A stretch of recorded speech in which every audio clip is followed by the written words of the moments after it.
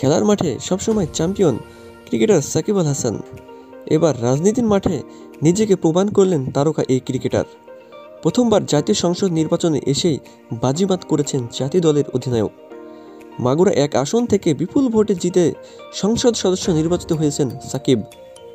Cricket মাঠে সাকিব আল হাসানকে সবসময় অনুপ্রেরণা জুগিয়েছেন স্ত্রী উম্মে শিশির আল হাসান। ক্যারিয়ারের নানা উত্থান পতনে স্বামীর পাশে থেকেছেন তিনি।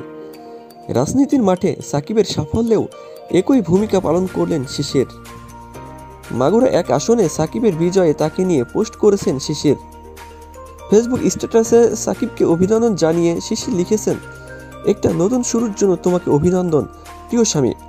তুমি জীবনের প্রতিটি ক্ষেত্রেই বিজয়ী হয়েছিলে। যদিও আমি সেখানে ছিলাম না, তবে আমার সমর্থন সবসময় তোমার পাশে ছিল। মাগুরার লোকদের অসংখ্য ধন্যবাদ। নিজেদের ঘরের ছেলে এতটা ভালোবাসা এবং সম্মান দিয়ে বরণ করার জন্য। রোববার সাতই জানুয়ারি দ্বাদশ জাতীয় নির্বাচনে বিপুল ভোটে জয়ী হয়েছেন সাকিব।